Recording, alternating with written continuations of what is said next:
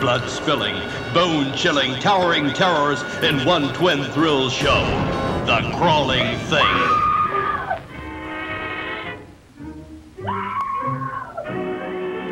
In case you pass out, that's tough.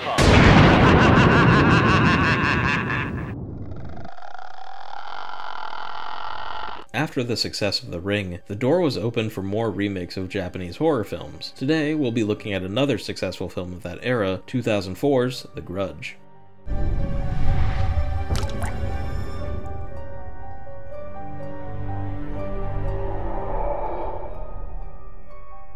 The Grudge is a remake of the Japanese horror movie Ju-on The Grudge from 2002.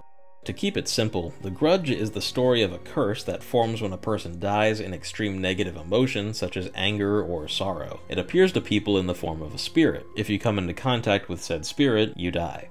The plot of the film is told through non-linear storytelling, using a lot of flashback techniques to reveal various details and twists. I really enjoyed the ride, so I'm not going to spoil the full plot here, you'll just have to check it out for yourself.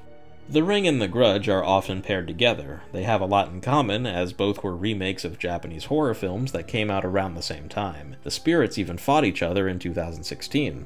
Just like The Ring, The Grudge became a really big horror icon of the 2000s. It gained multiple sequels and also had a prominent role in the Scary Movie series, this time being part of Scary Movie 4.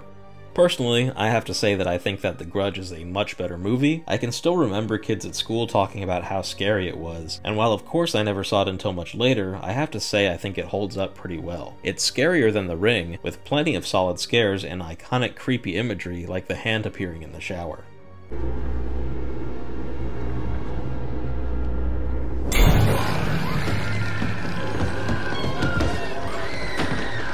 This is owed to the studio actually getting the director of the original film to direct this as well, so it's fair to say that none of the original vision is lost. It's also worth noting that horror legend Sam Raimi produced this. He sure has come a long way from the days of The Evil Dead.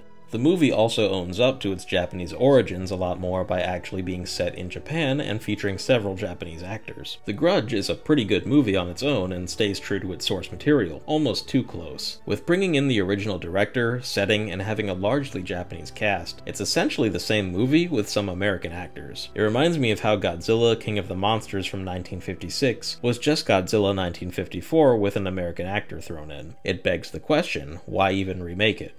Remaking foreign films for English speaking audiences was a trend for a while, but with the popularity of streaming making films from all over the world more accessible, and the mainstream success of anime and films like Parasite, it has since become a thing of the past. American audiences are now much more interested and open to watching something foreign and are now able to do it on demand. With that being said, the 2004 version of The Grudge is still a solid movie, and I quite enjoyed it. You can't go wrong with whatever version you want to watch, so take your pick.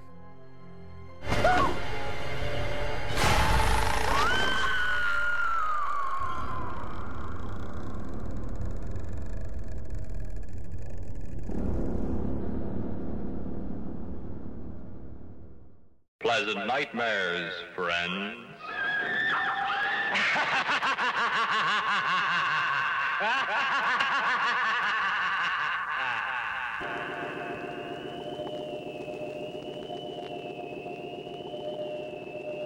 Good midnight to you.